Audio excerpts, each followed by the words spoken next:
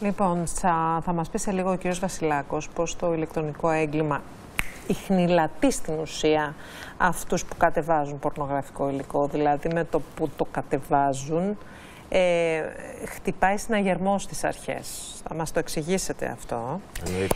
Και ηρώ αμέσως μετά τις διαφημίσεις. Ε, Νίκο μου, πες μας με το που κατεβάζει κάποιος ένα τέτοιο παράνομο βίντεο στον υπολογιστή του και τι βίντεο είναι αυτά, τι απεικονίζουν, ε, χτυπάει συναγερμό στις αρχές με κάποιο τρόπο; Έχουμε τρία συστήματα βασικά παρακολούθησης που φυσικά για ευνόητους λόγους δεν θα ονοματίσω.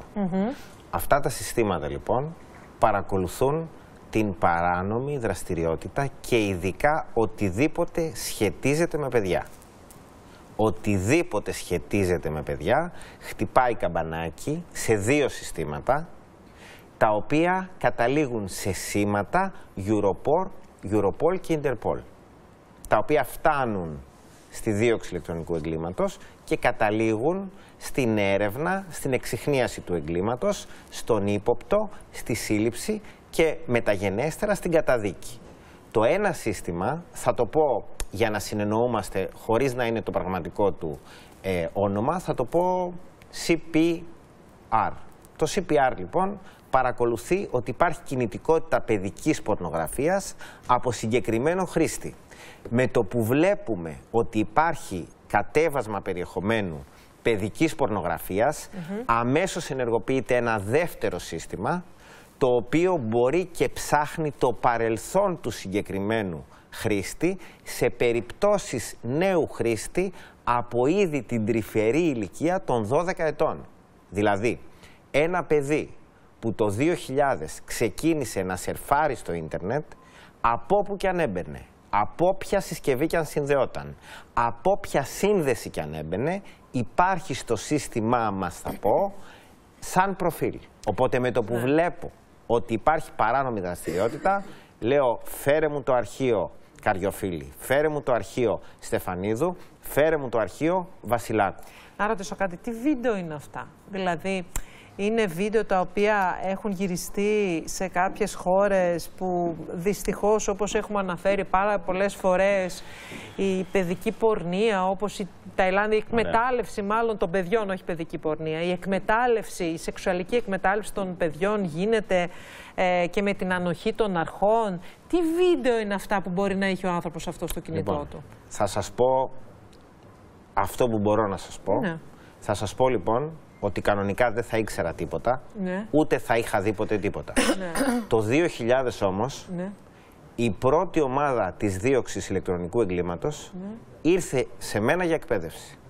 Έκατσαν λοιπόν οι Άρα τα αστυνομικοί. είδατε. Τι βίντεο είναι; Είναι βίντεο τα οποία σας λέω ότι δεν αντέχει άνθρωπος να τα δει. Πάρα πολύ σκληρά. Είναι βιασμοί παιδιών ή είναι, ας το πούμε... Δεν Καλά, υπάρχει συνέβη σε ένα παιδί, όριο δεν στην υπάρχει. οσυρή φαντασία των ανθρώπων που κάνουν αυτά τα πράγματα, που πολλούνται πανάκριβα στο διαδίκτυο και εκεί υπάρχουν δύο κατά βάση προβλήματα. Το πρώτο πρόβλημα είναι ότι αυτό διακινείται το περιεχόμενο, ότι καταλήγει σε κάποιον υπολογιστή, ότι καταλήγει σε χρήματα. Είναι ερασιτεχνικά βίντεο. Τι βίντεο. Τα είναι; ακριβότερα να ξέρετε στο χρηματιστήριο της παιδικής πορνογραφίας είναι ερασιτεχνικά. Τα home video. Δηλαδή είναι κάποιος ο οποίος έχει βιάσει ένα παιδί σε ένα σπίτι, στο σπίτι του, το έχει βιντεοσκοπήσει και πάει και το ανεβάζει και το πουλάει στο διαδικτύο. Και πολλές φορές το παιδί του. Και τι, τι, τι Ό,τι λεφτά πιο εισπράττουν για αυτή την ανομαλία. για αυτή χιλιάδες την- ευρώ την- και την πολλές φορές δεινοδία. είναι χιλιάδες ευρώ Ναι. και γι' αυτό η αστυνομία κινείται άμεσα διότι οι συλλήψεις των χρηστών Ναι. που αποκτούν πρόσβαση σε αυτό καταλήγουν στο να βρεθεί το κύκλωμα βάσει των βίντεο και των ψυχών που εικονίζονται σε αυτά. Δεν θα πω κάτι άλλο. Και ο. Εντάξει, δεν μπορώ να το επεξεργαστώ. αυτό Όσοι καλά. είμαστε γονείς, Ο καταλαβαίνετε συγγραφέας ότι- δηλαδή, τι λεφτά μπορεί να πλήρωνε για να κατεβάζει όλες αυτές τις ταινίες; Δηλαδή, η κάθε ταινία πόσα, πόσο στοιχίζει αυτές οι απαγορευμένες ε, βιντεοσκο, βιντεοσκοπήσεις; Πολλές Βιντεο- χιλιάδες ευρώ, άλλες πιο 300, 400, 500 ευρώ.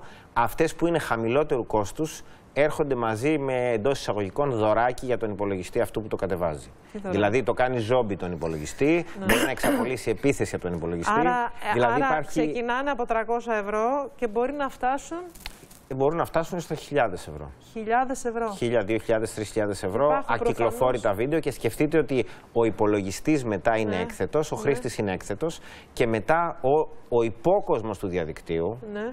Που δεν είναι πάντα dark web, μπορεί να είναι κανονικό web, ο υπόκοσμος Και πώς τα λοιπόν πληρώνουν με κάρτα, μπαίνουν με κάρτα και πληρώνουν, δηλαδή το, να δουν το βιασμένο σπίτι. και με κρυπτονομίσματα. Μάλιστα. Ούτε καν κάρτα, γιατί η κάρτα μπορεί να Λοιπόν, φτάσει στο θέλω χρήστη που έχει επιτρέψτε, στην Πρέπει κάρτα. να ολοκληρώσουμε, πρέπει να πάμε στο θέμα Να του πούμε ότι πετρελαίου. είναι και η θέαση παράνομη να το καταλάβει ο κόσμος. Ότι πολύ και η το να το θέαση, δει- Μα αυτό δεν το να έκανε το αυτό. δεις είναι παράνομο. Γιατί ο συγγραφέας αυτό δεν έκανε; Το κατέβασε κιόλας. Α, να μπεις να το δεις μόνο χωρίς να το κατεβάσεις. Δεν, μπο- δεν επιτρέπεται να Εννοείται ότι είναι. ψάχνεις. Εννοείται. Πολύ, πολύ γρήγορα. Αστυνομικοί Εντάξει. έχουν καταδικαστεί για Μάλιστα. τέτοια πράγματα. Πολύ, Έλα, πολύ ρε, γιατί γρήγορα.